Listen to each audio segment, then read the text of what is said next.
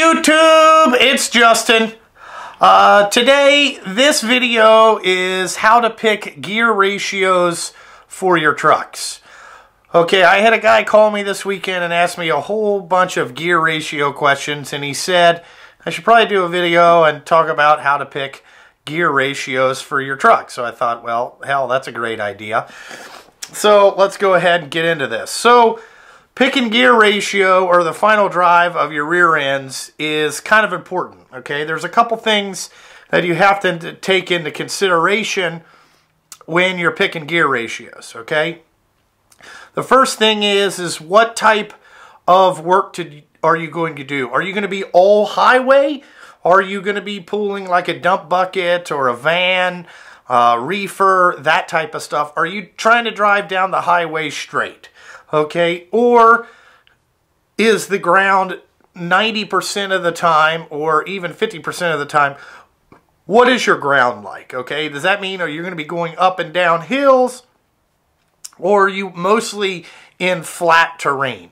Uh, because that has a lot to do with gear ratio. Also, uh, horsepower and torque rating of the engine has a lot to do with it. And the type of transmission uh, you go with will uh, decide kind of a little bit of a gear ratio issue uh, too. So how I picked mine, okay? This is what my criteria is and kind of what gear ratios I run. So on all my trucks, I run a 2050 torque engine. 565 is basically about as small as I go. I may go to a five and a quarter uh, 1850, but I like the 2050 torque. Now, what that 2050 torque does is, is it lets me pull hills with a lower gear ratio. Okay, now the reason that I'm trying to lower the gear ratio is, is every, you know, couple hundred RPM you can take out of that engine, um, it doesn't work as hard, okay? So, excuse me, shit. I'm a guy, I'm, I'm a believer in this. I'm a believer in big horsepower, okay, and low RPM, not turning the engine too high. I want to be in the optimal optimal power range of the engine, okay? So I don't want it at 2,000 RPM driving down the highway at 70 miles an hour, okay? I want it about, at 70 miles an hour, I'd like it to be anywhere from 1,400 to 1,500, maybe 1,600, somewhere in there, okay? Now, also a little bit of tire tire knowledge. So, let's say that you buy a truck with 500 horsepower, 16 1650 foot-pounds, but you bought an Allison or you want an Allison transmission. Okay?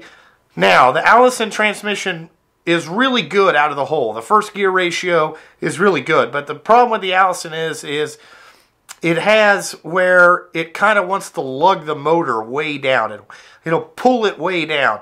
So with that amount of torque, you're going to have to go to a taller gear, like maybe a 438 or like a 422 or something in that range, in the four and a quarter range, because your engine, you know, you will run out of, you know, going down the highway at 76 mile an hour, it's going to be tacked out. It's going to be 1800, something like that. It's going to be wound tight with that type of gear ratio. Now, what you can do is put taller tires on it. So, my Allison transmission trucks, which I, I don't recommend the Allison. Uh, I, people love it, but I, am not. I'm not sold on it. Okay, I like the 18 speed Ultra Shift. To be honest with you, but it's a different conversation. We're talking about gear ratio. So, uh, how tall the tire you put on it. So I run a 24 and a half, 11R 24 and a half inch tall tire. Now I run a taller tire because the tire load limit is about 500 pounds more per tire. They also take 120 PSI to where like a 22.5 will take 110. But I'm trying to get sidewall thickness so it doesn't squat the truck as much. But what it does allows me with a 391 gear ratio with the 24.5 tire, that puts me at about like a 373, somewhere in there, okay, where you have really good, you know, I can pull a lot of hills without downshifting, maybe have to downshift one gear and it goes up the hill.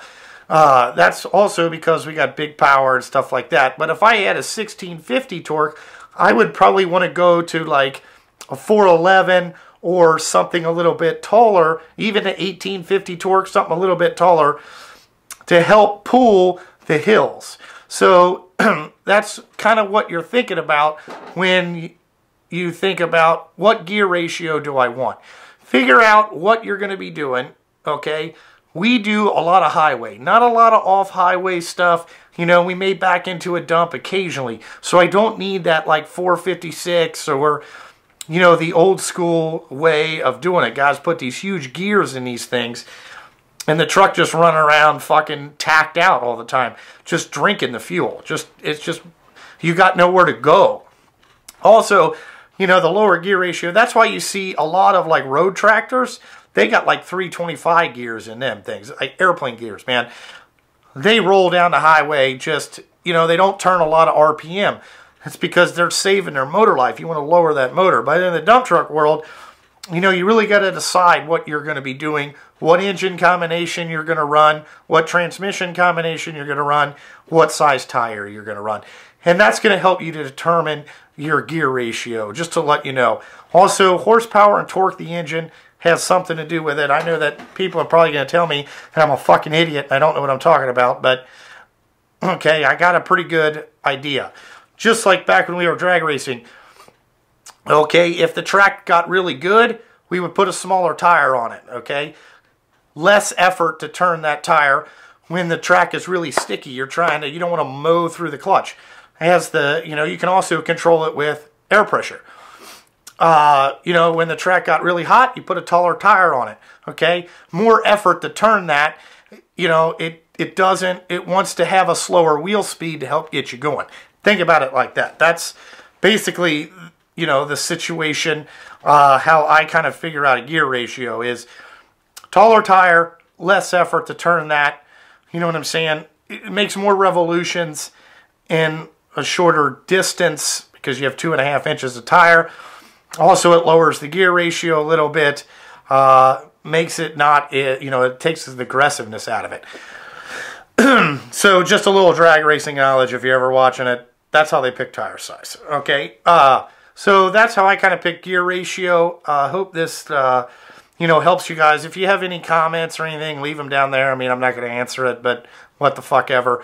But, uh, you know, let me know how you guys kind of do gear ratio. But uh, that's my thoughts on it.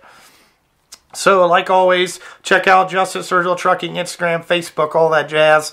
Uh, Patreon account, throw in a buck a month if you liked what I'm talking about, or throw a dollar in the month so you can tell me to fuck off on my Patreon account. It's no big deal. Uh, like always, uh, thanks for watching. Hope this helped you guys out, and uh, I gotta fucking go.